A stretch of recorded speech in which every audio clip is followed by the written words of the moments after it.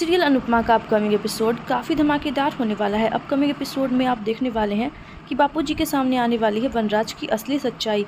Upcoming episode में आप देखने वाले हैं कि जब अनुज का एक्सीडेंट होता है तो ये देखकर बापूजी पूरी तरह से टूट जाते हैं, जहाँ बापूजी ये सोचते हैं कि मेरी बेटी की ज़िंदगी में इतनी दुख क्यों है।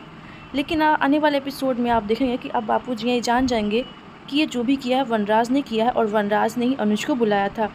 ये सुनकर बापूजी का खून खोल जाता है, जहाँ बापूजी गुस्से में बनराज के पास जाते हैं, जहाँ बापूजी गुस्से में बनराज से कहते हैं कि तुझे जन्म दे के मैंने बहुत बड़ी गलती कर दी, आज तूने मेरी बेटी की खुशियाँ बर्बाद कर दी, मैं तुझे नहीं छोड़ूँगा। यहाँ पर वनराज बापूजी से बदतमीजी करता है जिसके बाद बापू जी कहते हैं कि मैं तुझसे अपने सारे रिश्ते तोड़ता हूँ और आज से तू मेरा कोई नहीं है। जहाँ बापू जी ये फैसला करते हैं कि वो अब अनुपमा के साथ ही रहेंगे और उसकी देखभाल करेंगे।